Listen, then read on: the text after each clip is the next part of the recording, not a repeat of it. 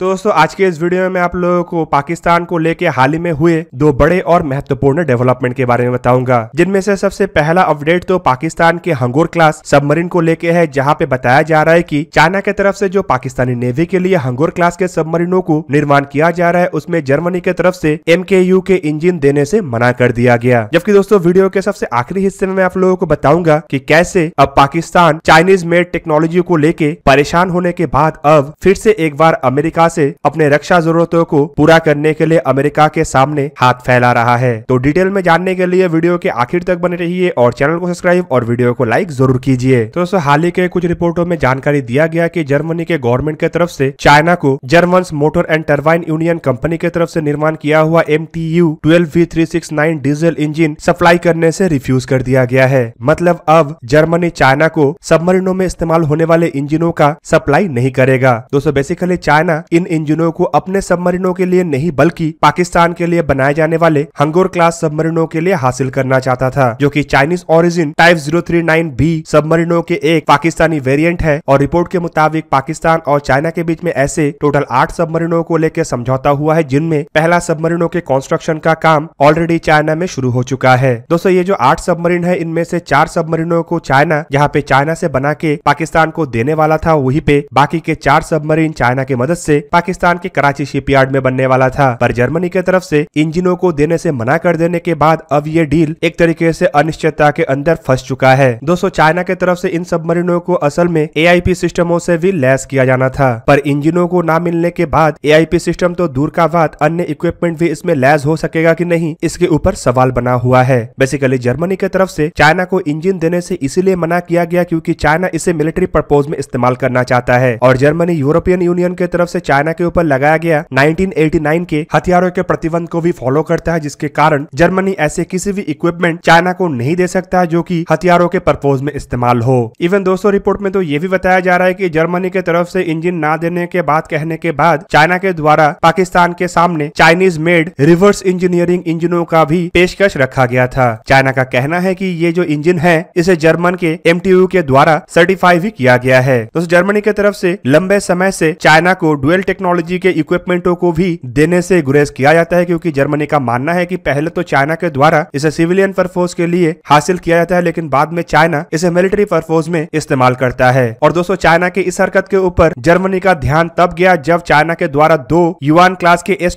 T submarine Thailand को बेचने का इरादा किया गया, जहाँ पे जर्मनी के द्वारा निर्माण किया हुआ ऐसे ही इंजनों के इस्तेमाल का इरादा चाइना की तरफ़ से रखा गया था। लेकिन जर्मनी को जब इस बात का भनक लगा, तब इस तरीके के डील को जर्मनी के द्वारा ब्लॉक कर दिया गया, जबकि खाली थाईलैंड के डील को ही जर्मनी के द्वारा ब्लॉक नहीं किया गया, बल्कि बाकी के इंजनों के सप्लाई के इरादे को भी रद्द करते हुए पाकिस्तान के लिए भी निर्माण किए जाने वाले सबमरीनों के इंजनों को भी देने से अब मना किया जा रहा है। हालाँकि इस बारे में पाकिस्तान के जो आर्मी के चीफ है मतलब जनरल कमर जावेद बाजवा के तरफ़ से भी हाल फ़िलहाल में अपने मीडिया को जानकारी दिया गया कि जर्मनी ने M T U twelve V three nine six diesel engine देने से मना किया है। पर पाकिस्तान के आर्मी चीफ की तरफ़ से ये जानकारी नहीं दिया गया कि इसके बाद किया पाकिस्तानी नेवी के लिए बनने वाले इन सबमरीनों में चाइनीज़ मेड इंजनों का इस्तेमाल होगा। पर अगर थाईलैंड के बात को देखा जाए तो थाईलैंड ने तो साफ़ साफ़ इस बात को मना कर दिया है। थाईलैंड चाइना के द्वारा निर्माण किया हुआ इंजनों के ऊपर भरोसा नहीं करता है और थाईलैंड नहीं चाहता है की उसके बेड़े में शामिल होने वाले सबमरीनों में चाइनीज़ इंजिन हो।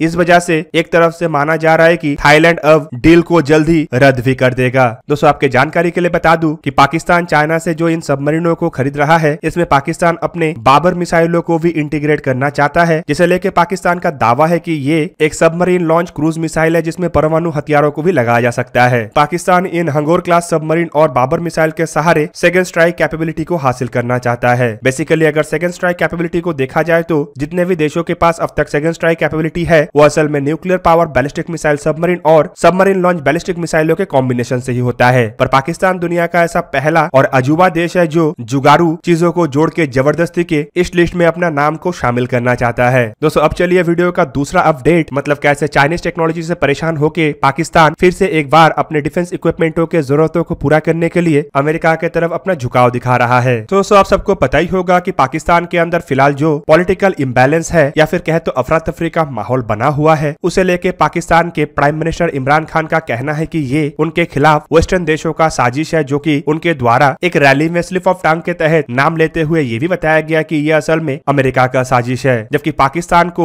हकीकत में कंट्रोल करने वाला संस्था मतलब पाकिस्तानी आर्मी के द्वारा इसके विपरीत सोच रखा जाता है। हाल ही में पाकिस्तान के army chief general Qamar Javed Bajwa की तरफ़ से एक सेमिनार में संबोधित करते हुए जिन बातों का ज़िक्र किया गया, उससे साफ़ झलक मिल रहा है कि पाकिस्तानी आर्मी वेस्टर्न देश खास करके अमेरिका के साथ अपने रिश्ते को सुधारना चाहता है। जबकि दोस्तों, इस तरीके के सेमिनार के बाद अब इंडियन एक्सपर्टों का भी मानना है कि पाकिस्तानी आर्मी फ़िलहाल अपना झुकाव चाइना के पड़ले से हटा के अमेरिका के पड़ले की तरफ़ करना चाहता है खास करके पाकिस्तानी आर्मी अपने देश को फैट के ग्रे लिस्ट से हटाना चाहता है और वेस्टर्न देशों से हथियार रिलेटेड सपोर्ट का भी अपेक्षा कर रहा है, जो कि कुछ सालों से बंद पड़ा हुआ था क्योंकि पाकिस्तान के द्वारा आतंकियों के तरफ़ झुकाव अधिक दिखाया जा रहा था। इवन इन्हीं कारणों की वजह से पाकिस्तान को फैट के ग्रे लिस्ट में भी रखा गया। और दोस्तों, एक्सपर्टों का मानना है की इसके पीछे सबसे बड़ा कारण है चाइनीज़ फॉल्टी इक्विपमेंट। बेसिकली कुछ सालों से पाकिस्तान के द्वारा वेस्टर्न देशों से अपने रिश्ते को कमज़ोर करते हुए चाइना के साथ रिश्ते को मज़बूत किया गया था। पाकिस्तानी आर्मी का सोच था कि जिस तरीके के हथियार वेस्टर्न देशों से अब तक पाकिस्तान को मिला है, उन हथियारों को काउंटर करने लायक हथियार चाइना भी पाकिस्तान को देगा। पर बीते कुछ सालों के चाइनीज़ हथियारों के एक्सपीरियंस पाकिस्तानी आर्मी के लिए काफ़ी भारी रहा। पाकिस्तान के बेड़े में जिन चाइनीज़ हथियारों को शामिल किया गया, खास करके main battle tank artillery defence equipment इनमें से ज़्यादातर इक्विपमेंट फॉल्टी निकला और पाकिस्तानी आर्मी फ़िलहाल इन इक्विपमेंटों को लेकर भुगत भी रहा है। और दोस्तों, वीडियो के पहले हिस्से में भी आप लोगों को बताया कि कैसे चाइना से खरीदे जाने वाले सबमरीन के डील के ऊपर भी वेस्टर्न देशों का प्रभाव है और कैसे अगर वेस्टर्न देश चाहता है तो चाइना के डील को भी एक तरीके से प्रभावित कर सकता है। ऐसे में पाकिस्तानी आर्मी को अब समझ आ चुका है कि चाइना के साथ जाके उसे ज़्यादा कुछ फ़ायदा होने वाला है नहीं, बल्कि नुकसान ही नुकसान है, जिनमें पाकिस्तान को मिलने वाला तो कुछ है नहीं, लेकिन पाकिस्तान के हाथ से जाने वाला सब कुछ है। इवन दोस्तों, चाइना के डेट ट्रैप में भी पाकिस्तान जिस बुरी तरीके से फंस चुका है, उससे उसका इकोनॉमी भी लगभग तबाह हो चुका है। दूसरी तरफ़, वेस्टर्न ब्लॉक को नाराज़ करने के कारण ऑलरेडी पाकिस्तान के बेड़े में इस्तेमाल होने वाले हथियारों को लेकर भी पाकिस्तान को मुश्किलों का सामना करना पड़ रहा है। चाहे वो अगस्टा 90 क्लास के सबमरीन के अपग्रेशन प्रोजेक्ट हो या फिर मिराज सीरीज़ के एयरक्राफ्टों के अपग्रेशन हो। इवन दोस्तों, पाकिस्तान का इकोनॉमी भी इतना स्ट्रॉन्ग नहीं है कि वो इन हथियारों को रिप्लेस कर सके। जबकि बिना वेस्टर्न देशों के मदद से इन हथियारों के अपग्रेड करना या फिर काम चलाओ बनाए रखना पाकिस्तान के लिए भी पॉसिबल नहीं है। और दोस्तों, बाजवा के हाल ही में दिए गए बयान के बाद ये आसानी से पता चल रहा है कि पाकिस्तानी आर्मी अब वेस्टर्न देशों के तरफ़ जाने के लिए कितना अधिक उतावला है और चाइनीज़ ब्लॉक में रह के पाकिस्तानी आर्मी को इतने दिन में कितने नुकसान झेलना पड़ा। दोस्तों, बाजवा के द्वारा दिया गया बयानों में से कई सारे पार्ट सोशल मीडिया में भी अवेलेबल है। यहाँ पे आप लोगों को साफ़ साफ़ ये भी सुनने को मिल जाएगा कि बाजवा अमेरिका के साथ एक बैलेंसिंग रिलेशनशिप चाहता है। बाजवा के द्वारा दिया गया बयान में ये भी बताया गया कि कैसे अमेरिका ट्रेडिशनली और हिस्टोरिकली पाकिस्तान का एक एलाई रहा और और कैसे पाकिस्तान चाइना के साथ साथ अमेरिका के साथ भी बैलेंसिंग रिलेशन रखना चाहता है। जबकि इस दरमियान ही पाकिस्तान के प्राइम मिनिस्टर की तरफ़ से बताया जा रहा है कि उनके खिलाफ कॉन्स्परेसी असल में अमेरिका ही कर रहा है। दोस्तों बैलेंसिंग नीति के बयान आने के बाद ये साफ़ हो चुका है कि पाकिस्तान के आर्मी किसी भी हालत में अमेरिका के साथ रिश्ते को खराब नहीं करना चाहता है, चाहे उसके लिए इमरान खान को ही क्यों ना कुर्बानी देना पड़े। जबकि दोस्तों, दूसरी तरफ़ कुछ अनकन्फर्म्ड न्यूज़ में ये भी दावा किया गया कि पाकिस्तान सी पैक के जैसे सिमिलर प्रोजेक्ट अमेरिका से चाहता है और पाकिस्तान चाहता है कि जो सी पैक प्रोजेक्ट में अब तक चाइना के द्वारा फंड किया जा रहा था, उसमें अमेरिका फंड करे ताकि वो चाइना के चंगुल से बाहर आके अमेरिका के पड़ले में आ सके। पर अमेरिका के द्वारा इस बात को संपूर्ण रिफ्यूज कर दिया गया। दोस्तों, फ़िलहाल पाकिस्तानी आर्मी के तरफ़ से अमेरिका के तरफ़ झुकाव दिखाने का एक बहुत बड़ा रीजन ये है कि चाइना देता तो है, लेकिन उसके बदले डबल वापस लेता है, जिस कारण पाकिस्तान कंगाल होते जा रहा है। जबकि अमेरिका अब तक जितना भी पाकिस्तान को दिया है, वो कभी वापस नहीं लिया। दूसरी तरफ़, यूक्रेन और रशिया के मुद्दे के कारण फ़िलहाल कंडीशन भी पाकिस्तानी आर्मी के लिए काफ़ी सुइटेबल है, जहाँ पे अमेरिका तुरंत ही पाकिस्तान के पुराने गलतियों को माफ़ करके उसे एक्सेप्ट कर सकता है। पर पाकिस्तान भूल चुका है कि इस दरमियान काफ़ी कुछ बदल गया है और अब अमेरिका के द्वारा भारत को पाकिस्तान से अधिक तरजीह दिया जाता है और अमेरिका भारत को मेजर डिफेंस पार्टनर और डिफेंस एलाई का खिताब दिया हुआ है। ऐसे में अगर पाकिस्तान अमेरिका के पड़ने में जाता है और पाकिस्तान को फिर से एक बार अमेरिका के द्वारा गोद ले लिया जाता है, तब भी पहले के जैसे पाकिस्तान फ़ायदा हासिल नहीं कर पाएगा। तो दोस्तों, ये था आज का वीडियो। अगर आपको वीडियो अच्छा लगा तो लाइक कीजिए और मेरे चैनल को सब्सक्राइब कीजिए और साथ में बना हुआ बेल आइकन को भी प्रेस कर दीजिए ताकि आप मेरा वीडियो देख पाए सबसे पहले। जय हिंद।